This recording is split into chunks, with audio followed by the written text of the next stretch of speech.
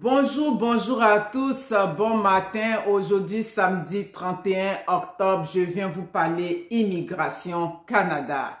Bon, depuis le 27 octobre, vous avez vu le ministre euh, de l'immigration canadienne, Monsieur Marco Mendochino, a envoyé, c'est-à-dire a apporté, je peux dire, des réformes pour les francophones qui veulent immigrer dans le bassin de l'entrée express. Quand je parle entrée express, oui, ça fait un an que je suis sur les réseaux sociaux, oui, un an que je suis là. Mais quand je parle entrée express, on continue toujours de me ramener à la province du Québec. Mes amis, quand on parle de l'entrée express, c'est un processus d'immigration qui est fait, qui dure environ 6 à 8 mois, voire 9 mois quasiment pour rentrer au Canada. Et ce processus-là, il est exclusivement réservé à la zone anglophone. Quand on parle de entrée express, le Québec n'est pas dedans. Voilà, c'est ce que je voudrais que vous sachiez. Donc, cette décision-là a été prise. Ils ont apporté des points à ceux qui sont francophones, qui veulent immigrer dans cette zone anglophone-là. Avant, c'était 30 points qui étaient réservés aux francophones. Mais aujourd'hui, c'est passé à 50 points. 50 points, c'est pas rien. Donc, ça veut dire que la façon dont ça a été expliqué, même si tu n'as pas trop de compétences en anglais, tu vas partir avec comme 25 points plus les 50 points qu'on a apportés aux francophones. Donc, c'est une opportunité à saisir. Oui, c'est pas quelque chose à négliger.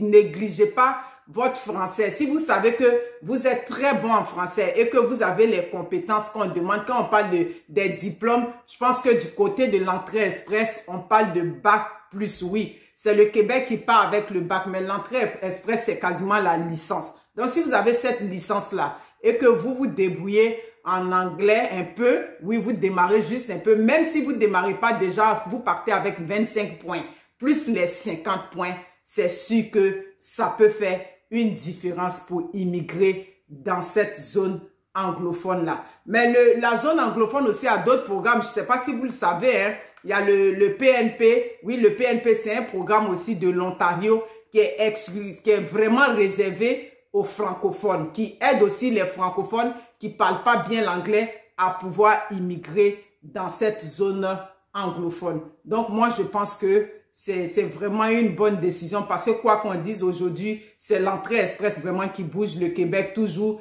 avec euh, la Arima qui est toujours bloquée, avec les, les, leurs querelles intestines au niveau de l'immigration, ça coince toujours. Moi, je dis que si tu as les compétences et que tu sais que tu as les moyens, oui, quand on parle de l'entrée express, il faut pas oublier la preuve de fonds qui est de 12 000 dollars.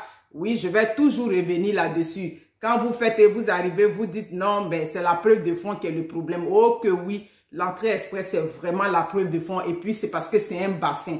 Mais malgré le fait que, malgré ça, selon ce qui a été dit, on a bonifié, on a donné les, points, les 50 points pour que des provinces s'intéressent vraiment à cette clientèle francophone-là. En tout cas, c'est une bonne décision. Pour ceux qui sont intéressés toujours, vous pouvez foncer dans l'entrée express qui est vraiment, qui fonctionne très bien. Le consultant, comme je vous ai dit, bon, je, vous, je, connais ma clientèle, je connais mes impactés, je connais tous ceux qui me suivent, qui s'intéressent à l'immigration. Nous sommes Saint-Thomas. Le consultant, il vient à Abidjan le 20 décembre, je le répète.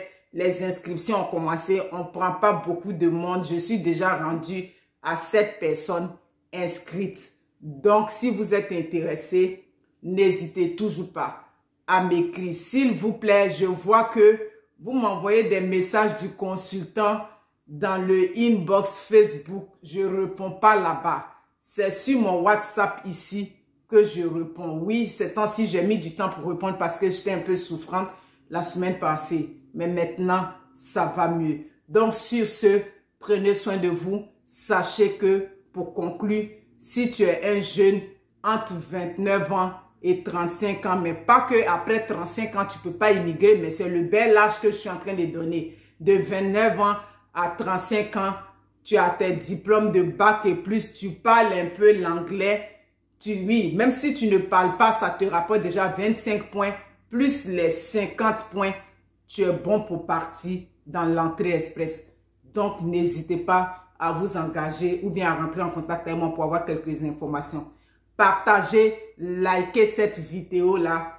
Et puis, bon, on continue la route. Oui, partagez-la massivement pour des gens qui sont intéressés parce que je reçois beaucoup de messages à ce sujet. Sur ce, prenez soin de vous. de la route. Merci. Au revoir.